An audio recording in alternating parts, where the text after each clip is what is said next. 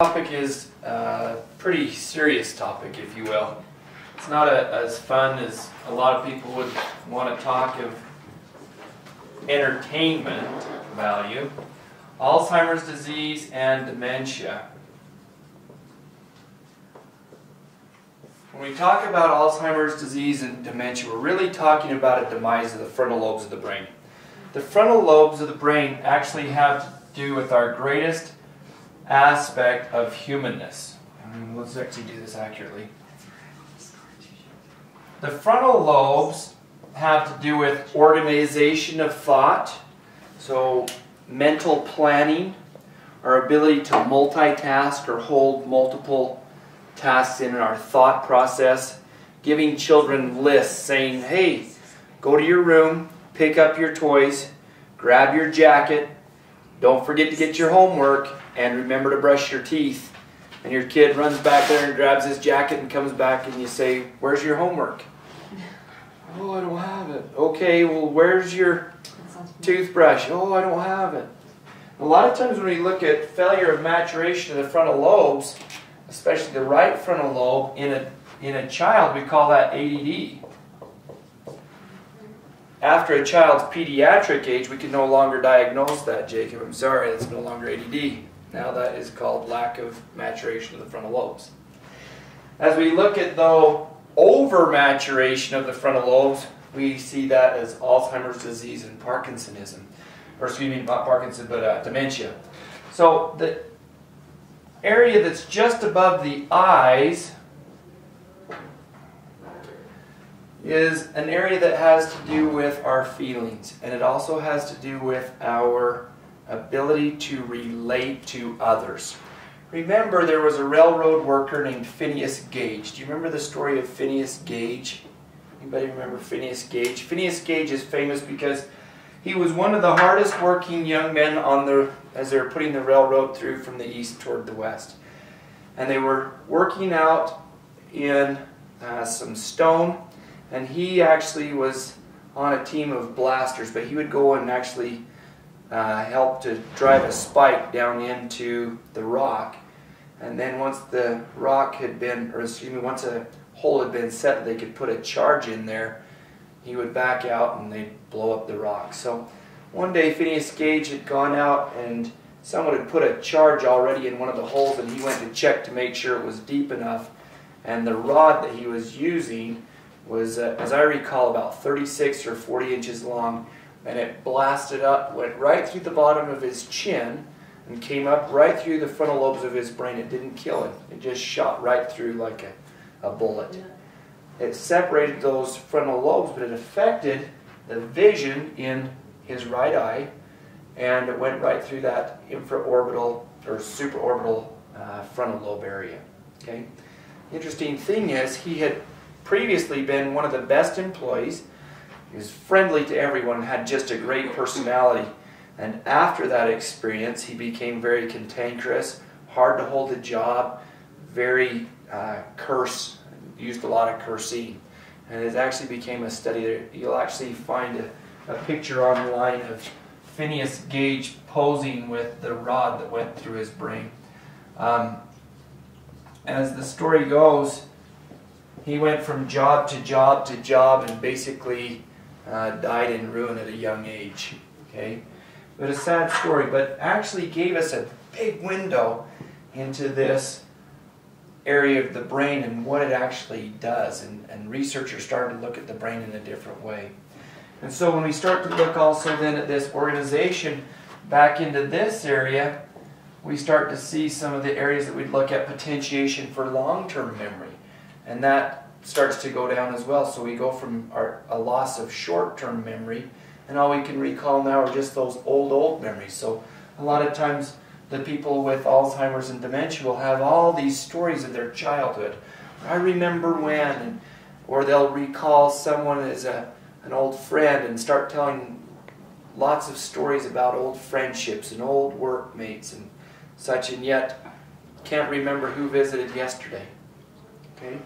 So that's a big change in this area as it starts to be affected. When we actually look uh, from a, a, frontal view on the MRI, what you'll start to see is instead of having a nice, robust, high gyrus that's full and plump in the brain on the MRI, it'll start to look very atrophied and small. And you'll actually see where the brain will start to pull away from the skull. So instead of being up nice and close to the skull, you'll start to see where it will actually pull away from the skull.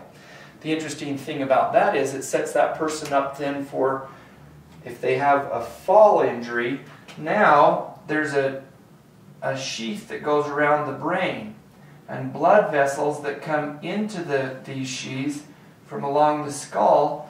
And in essence, that those blood vessels are basically like little tendons or strings, like puppet strings holding the brain up then. Because if the brain actually atrophies, it starts to pull away from the tethering points. And those blood vessels become tethering points. And those people are at great risk for shear forces if they fall.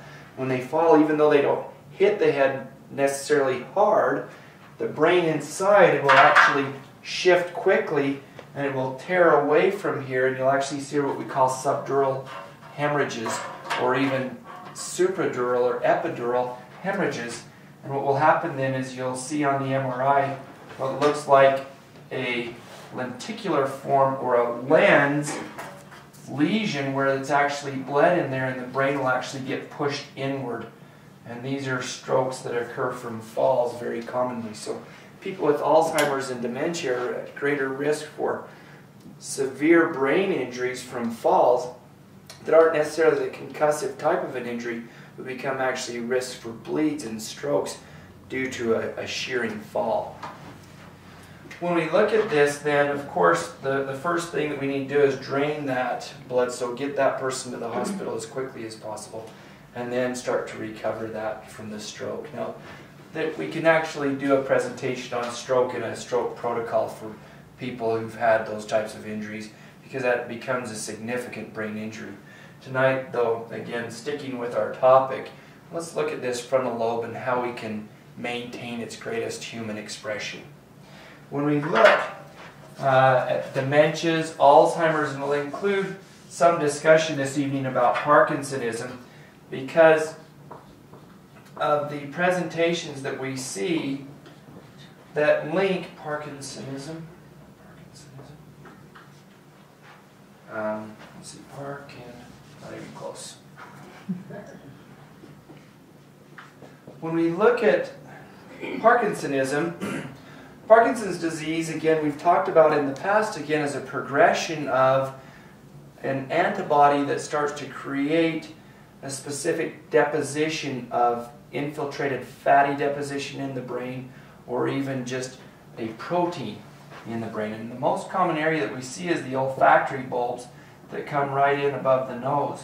What happens here is there are some proteins called, or antibodies called alpha-synuclein antibodies that actually start to penetrate those frontal projections of the olfactory bulb and actually then will cause those cells to become hard. When they harden, they no longer have function. So one of the first things we look for in Parkinsonism would be then a loss of what? Smell. Sense of smell. So when you check with your loved ones, you always want to make sure that they still have an acute or accurate sense of smell. When smell starts to demise, then we're looking at those alpha-synuclein antibodies actually depositing what we call Lewy body formations or fatty depositions in those cells. And those Lewy body formations then will go from there to the cells then that affect the moisture of the eyes and the mouth as well. So they'll start to go in a progression.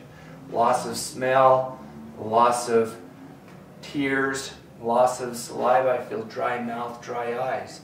Then it will also start to affect then the outputs that give output for digestion. So they'll say I have constipation, irregular heartbeat. Then they'll start to manifest the stiffness in their faces and their gaits. They'll become very wooden.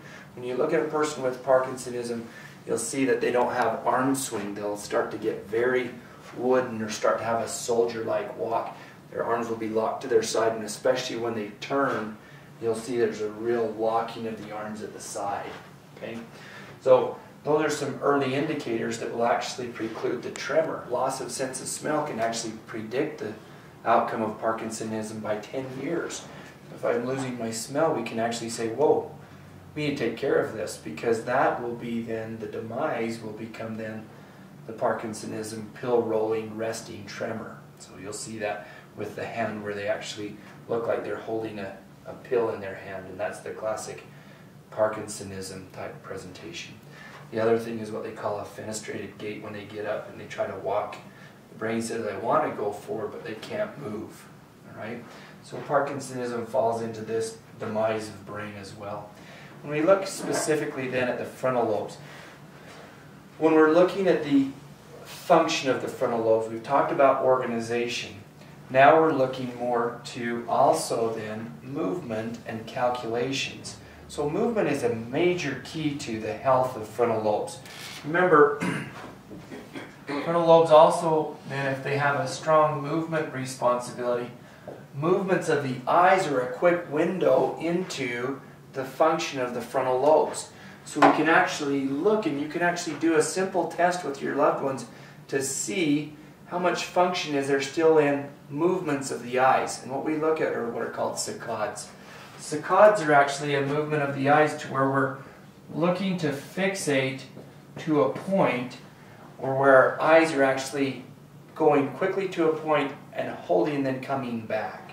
So the way that we do it is have a person stand in front of us and then we'll hold our thumbs up for them to look at as, as targets and then the instruction is look at the thumb that moves and then hold your eyes on that thumb and then look back at my nose and then look at the thumb that moves and then look back at my nose. And what you're looking for is the smoothness of that pursuit and you want them to be able to hold their gaze onto that thumb and without moving the head. Okay? because the frontal lobes will actually push them, but they should not push the whole head to be able to look there. So Jacob, come up and let me just show everybody if you don't. So what we'll look, just stand right here facing me, please. So everybody can see. He's just going to look right here at my nose. And what the instruction is, again, is look at my thumb. Look at the thumb that moves. And look at that thumb for just a moment. And then come back to my nose. Okay, ready? Good. And then again here. Good. Again here. And you see the first time he just gives a little bit of a head nod, and then he corrects himself. So we're good. So we just do it again. Good. And one more time. Good. So he's good there. Next thing that we want to look at is something called antisaccades. So now it's to actually look away from the side of movement. So this time, you're going to actually look away from the side that moves. So look at the thumb that's not moving, okay? Good. And again. Come again. Good. One more time. That'll do and then again. Okay. So again, just following the instructions. So there is just a little bit of, for him, an attempt to look. So he, he moved his head and he also looked. So we don't see a demise of the frontal lobes. We actually look at something else associated with attention. Okay. Now, next thing we can do quickly to assess is stroking the palm. So a palmar stroke is another indicator of frontal lobe change, right?